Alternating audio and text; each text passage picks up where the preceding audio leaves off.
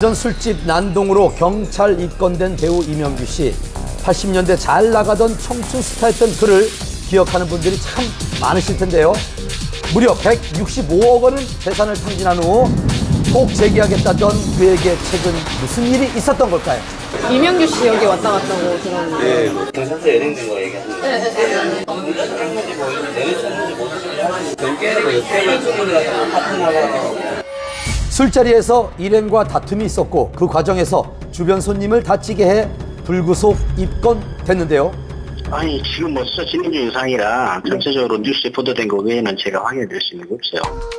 정확한 취재를 위해 이명규 씨를 수소문하던 중 어렵게 그와의 연락이 닿았습니다. 네, 안녕하세요 선생님. 저희 한마미 TV연입니다. 6시에 그냥 아무 데나 오셔갖고 전화 주세요. 당서 그 주소를 내가 문자로 보내줄 테니까.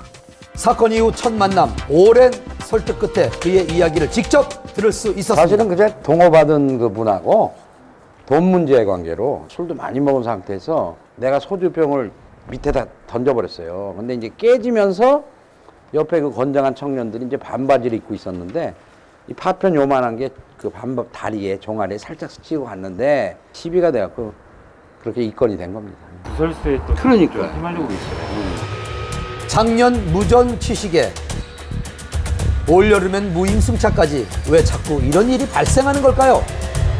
아 물론 나한테 문제가 있지 뭐 어? 포장마차 사건이라든가 뭐 택시 그거 다 사실이에요 이혼하고 애들 못 보고 미국 가서 그 어마어마한 돈을 까먹고 실패하고 들어와서 혼자 있으려니까 잠이 안 오더라고요 이혼, 방탕한 생활, 사업 실패, 스스로 헤쳐나오기 힘든 늪처럼 악순환이 계속됐다는 겁니다. 술을 대기 시작했는데 그러니까 많이 마시다가 보니까 알코올 치매라는 병이 생긴 거예요 제가. 그걸 몰랐어요. 지난 날을 후회하며 다시 연기를 통해 재기하고 싶다는 이명규 씨 좋은 모습